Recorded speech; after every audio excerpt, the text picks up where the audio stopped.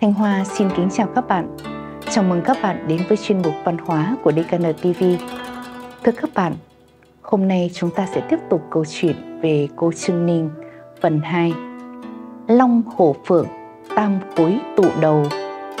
Giáo sư Hương tiếp tục nói với Trương Ninh, khi cô 17 tuổi, 18 đến 20 tuổi, Long hổ phượng, tam khối tụ đầu cùng nhau nổ một tiếng sét trên nhưng tiếc là chúng không lao lên, nếu không bất luận là hồ hay rồng, cô, phượng hoàng sẽ đều là đệ nhất phu nhân. Chuyện trương ninh và lâm lập quả, có thể không ai không biết, nếu lâm lập quả là hổ và trương ninh là phượng, thì con rồng là ai?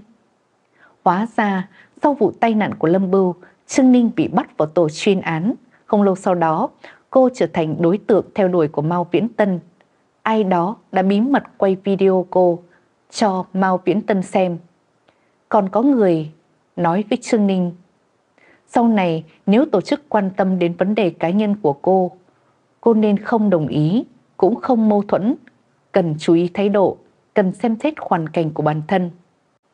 Ai biết được, Trương Ninh nói, chính là vì bản thân phục tùng tổ chức mới bị lạc vào hoàn cảnh này sau này ai nói đều không nghe. Có lẽ bởi vì cô từng là hôn thê của Lâm Lập Quả và tính cách của cô khá quật cường, Mao Viễn Tân có lẽ không muốn bị quá nhiều ảnh hưởng. Cuối cùng mọi chuyện đã kết thúc. Có vẻ như quá khứ chưa từng được biết đến của Trương Ninh đã bị giáo sư Khương nhắm tới.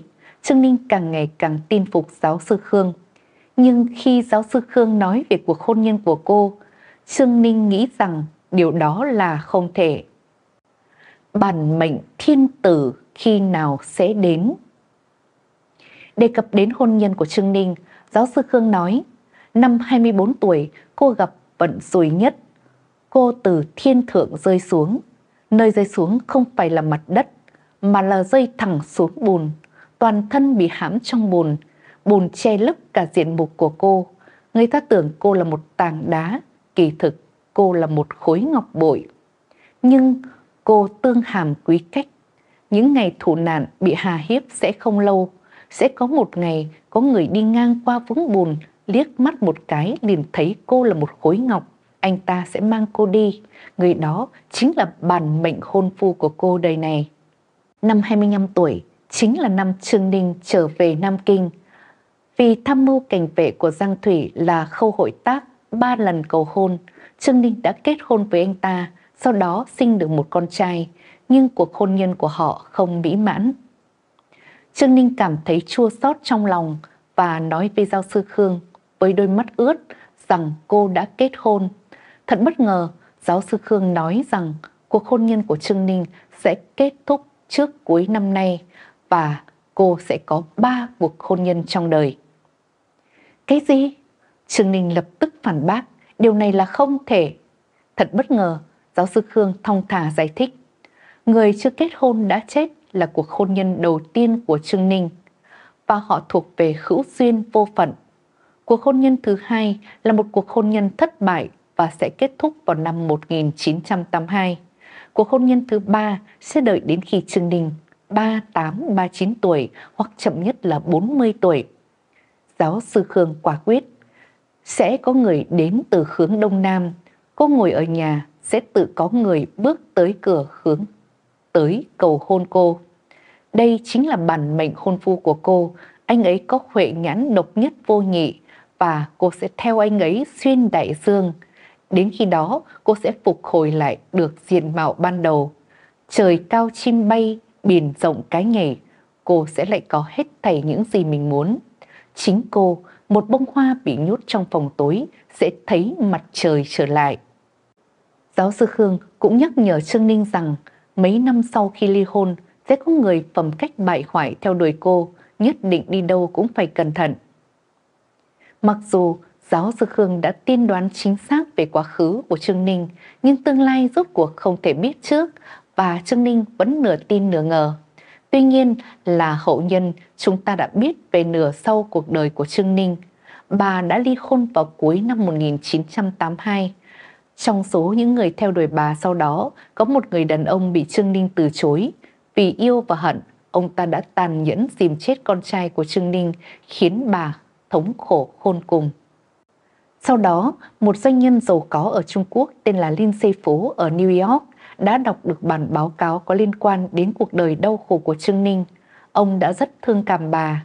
Ông từ Mỹ bay về cầu hôn. Họ kết hôn vào năm 1989. Năm 1990, Trương Ninh được cấp visa đến Mỹ để bắt đầu một cuộc sống mới và họ thực sự khá hạnh phúc sau đó. Hai người sinh thêm một người con trai. Điều đáng ngạc nhiên là cậu con trai này trông rất giống với người con trai cả đã chết của Trương Ninh. Điều kỳ lạ hơn là trên cánh tay trái của cậu ta có một nốt ruồi giống hệt như nốt ruồi của người con cả, hình dạng và vị trí giống nhau. Trương Ninh tin rằng đây chính là hóa thân của người con trai cả. Tất cả những điều trên đều được bà ghi lại trong cuốn tự truyện sau này là Trương Ninh tự mình viết về mình, khiến người đọc cảm thấy khá xúc động. Môn khoa học cần được nghiên cứu. Thưa các bạn, kỳ thực khi giáo sư Khương giải đọc cuộc đời của Trương Ninh, ông không hề biết bà là ai, cuối cùng ông mới hỏi bà.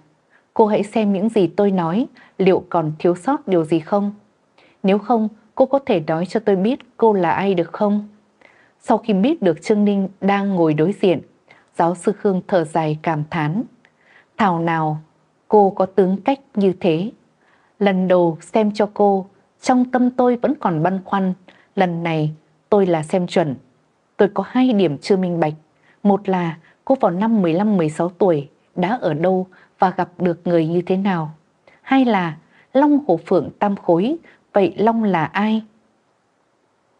Sau khi Trương Ninh kể lại với ông, giáo sư Khương gật đầu lia lịa.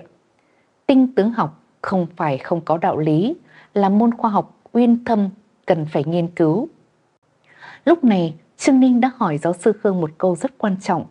Tinh tướng học này có phải là khoa học không? Giáo sư Khương nói rằng đây là một ngành khoa học mà con người vẫn chưa nhận thức được. Ông cũng đưa ra một ví dụ dễ hiểu, một cái cây để biết nó đã trải qua bao nhiêu thảm họa trong tự nhiên. Nó bao nhiêu tuổi, người ta cưa nó đi, phân tích tuổi cây từ vòng cây, từ những vết sẹo và vỏ cây trong chất lượng cây, hình dạng của thân cành mà phân tích để biết nó đã trải qua bao nhiêu thảm họa trong tự nhiên. Hết thảy mọi sự vật đều có dấu vết, có quỹ đạo phát triển tự nhiên của nó. Con người cũng vậy, chỉ là nội hàm thập phần thâm sâu. Tổ sư gia của giáo sư Khương đã đến Ấn Độ để học cốt tướng, đến Nhật Bản để học văn lý và tổng hợp chu dịch của Trung Quốc. Cụ đã nghiên cứu tinh tướng học trong cuộc đời của mình mới có được bấy nhiêu tâm đắc. Cao nhân mạc cốt dân gian, thế gian không còn bao người. Vì mạc cốt là một kỹ thuật độc nhất vô nhị, nên phương thức nó được truyền thừa cũng rất đặc biệt. Nói chung, những người có công phu thực thụ không dễ dàng nhận đồ đệ và họ thường cả đời chỉ chân truyền cho một đệ tử. Phương gian lưu truyền có một cao nhân mà cốt dân gian là Cao Tiên Sinh đã trải qua những chuyện kỳ lạ. Mọi người cũng có thể muốn nghe câu chuyện đó.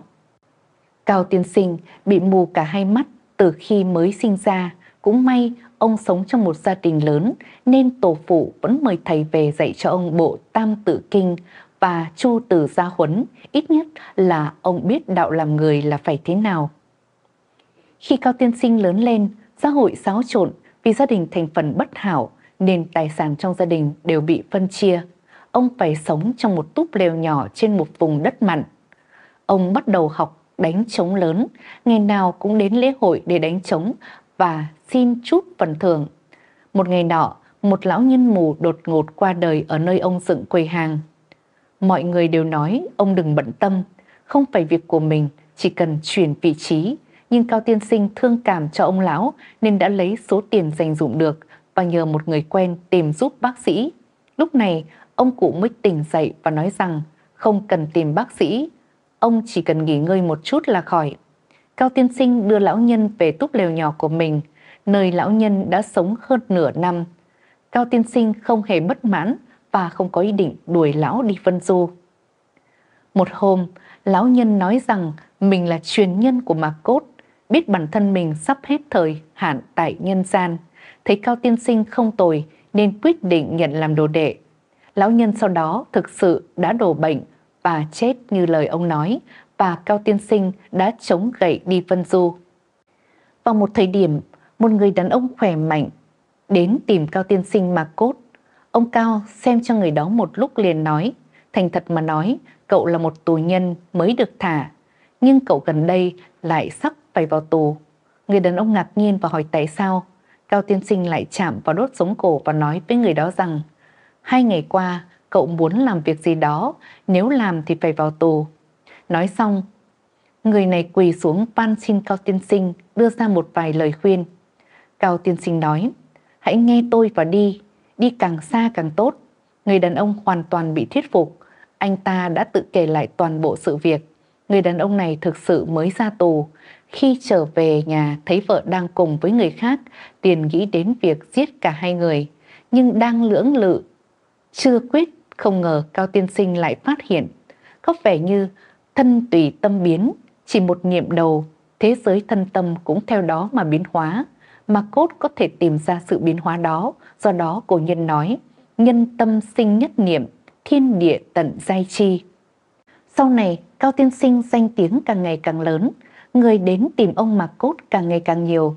Tuy nhiên, mỗi ngày ông chỉ xem cho ba người, nhiều nhất cũng chỉ năm người. Vì sao vậy?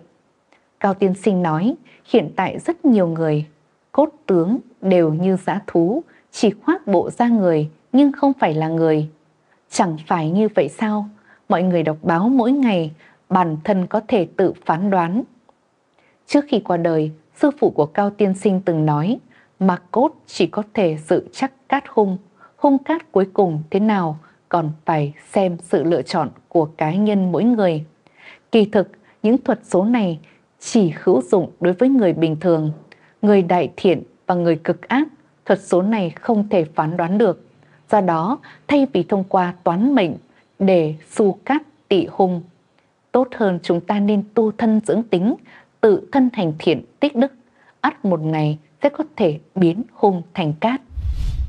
Vâng thưa các bạn, chuyên mục văn hóa của chúng tôi đến đây tạm dừng. Cảm ơn các bạn đã chú ý lắng nghe. Xin kính chào và hẹn gặp lại các bạn ở những chương trình tiếp theo.